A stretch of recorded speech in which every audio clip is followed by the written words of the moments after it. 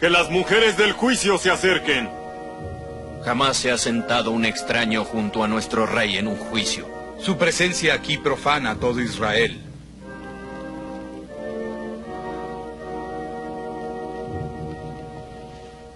¿Quién acusa? Mi rey y señor, esta mujer y yo vivimos en la misma casa.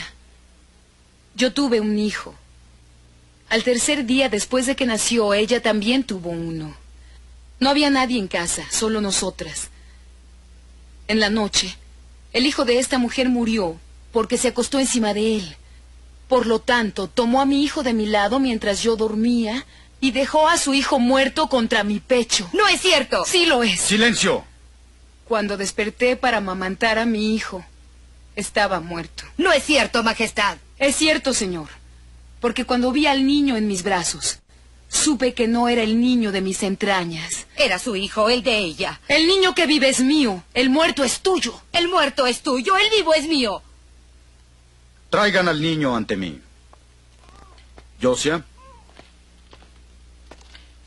pon al niño en los escalones frente a mí y muéstramelo.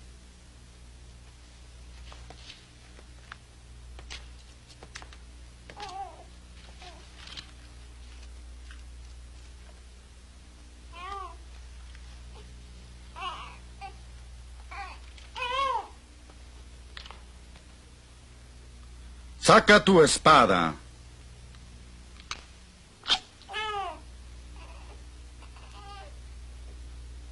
Y divide al niño en dos partes. Da la mitad a una mujer y la otra mitad a la otra. ¡No! Si así debe ser, déle el niño a ella. Pero por favor no haga esto. Divídanlo. No debe ser de ella ni mío.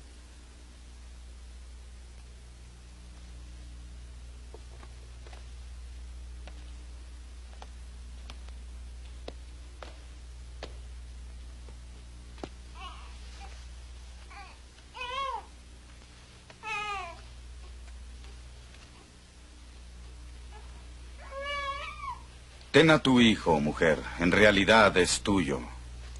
Que el Señor Dios Jehová brinde todas sus bendiciones. Preferiste entregárselo a otra a que el niño muriera. Llévense a esta mujer y administrenle un castigo por cometer perjurio.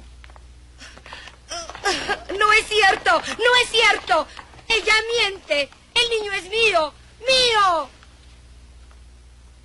Ya he visto cómo aplica la justicia Salomón. Y su sabiduría me sorprende. La sabiduría que me han otorgado es por el beneficio de mi pueblo. Continúe enseñándome, se lo suplico. Y así conseguiré claridad y una gran luz en las maravillas de su entendimiento. Me convertirá en una mejor gobernante y más sabia para el beneficio de mi pueblo. La sabiduría está en la capacidad de decidir entre lo cierto y lo falso.